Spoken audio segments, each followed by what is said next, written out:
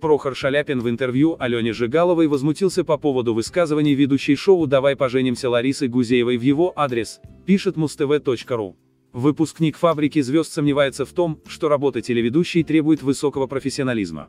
Ранее Гузеева заявила, что певец ужасно поет. «Ужасно вы поете, так и я могу спеть», заявила актриса. А тот, в свою очередь, заявил, что телеведущая не может связать двух слов. Он добавил, что тоже мог бы вести передачу на федеральном канале. «Ничего сложного на суфлере сидеть», — сказал певец. Впоследствии Прохор сказал, что Гузеева прошлась по нем, а он по ней. «Не от большого ума», — отметил он, комментируя высказывание Гузеевой. Примечательно то, что на выпады, касающиеся личной жизни, Прохор реагирует с иронией, но вот высказывания о его профессиональных качествах задевают его за живое. У Шаляпина репутация ловеласа, светского льва, лентяя и сибарита, но сам он не хочет, чтобы его считали таковым. Thank you.